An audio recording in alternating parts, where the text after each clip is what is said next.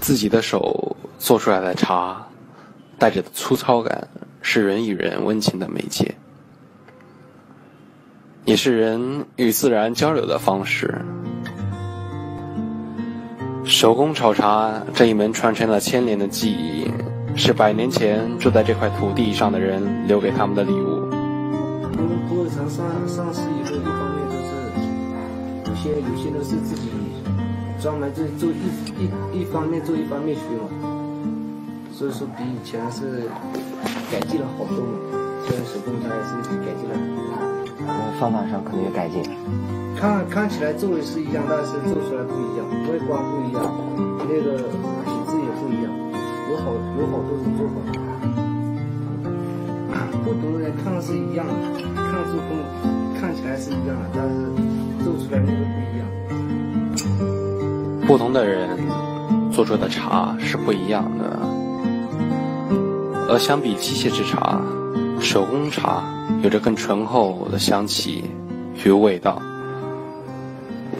关键也是原料问题，一方面好的茶叶基本上都是拿手工做，机器做的都是一般都是档次低的那种，比较茶叶多了，档次有点低了，价价格一般那种。都是机器做，一般好的茶叶都是手工做。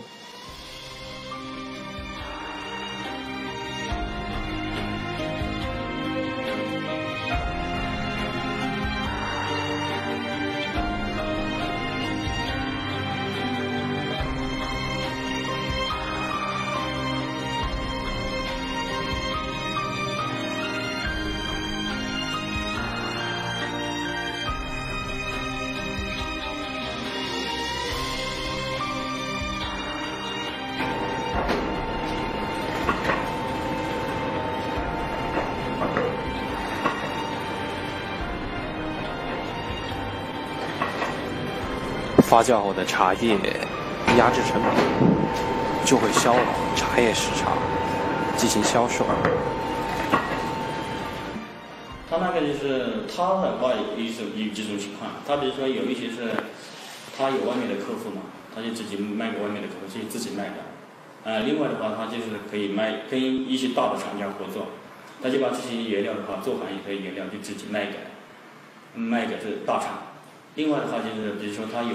一些专业合作社，可能就有两三两三家人，五家人以上，要求五家人以上。一些直接的专业合作社，他就以合作社的形式做完以后交到合作社去，由合作社来，呃，由合作社来统一销售。在宁静的帕沙小寨里，住着大哥一家。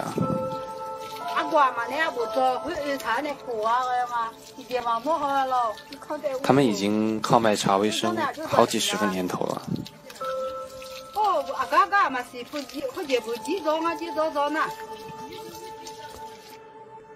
每天早上，大哥的父亲就会看看这里的天气，确定上山的时辰。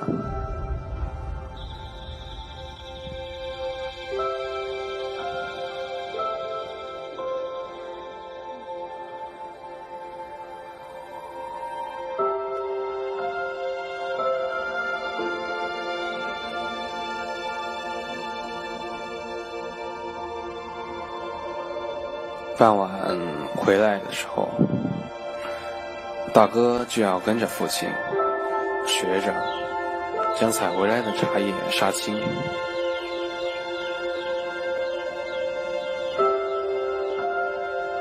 大铁锅是大哥家祖传的，在他爸还小的时候就已经建好了。每一次的翻炒都是对温度的把握。只有看着父亲的手法，一遍遍的学习与练习，才会熟练。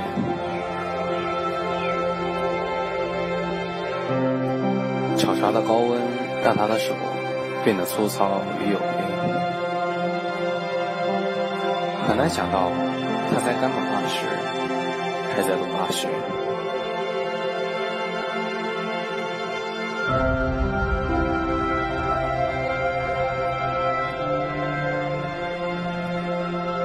在家里不忙的时候，大哥甚至会弹着自己打工挣钱买来的吉他。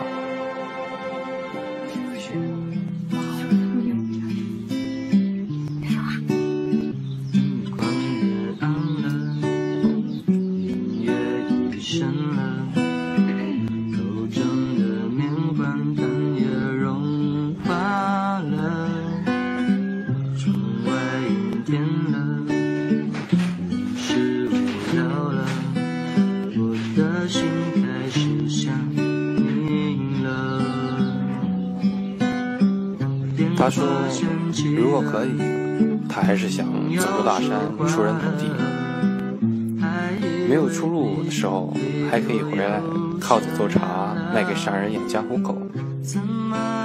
但是毫无疑问，手工茶的工艺还会继续敲给他的孩子，他的子子孙孙。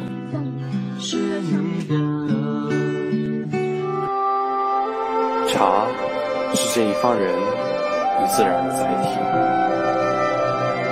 也是这一方人的生命线。每一片茶叶凝聚的是茶人的汗水与心血。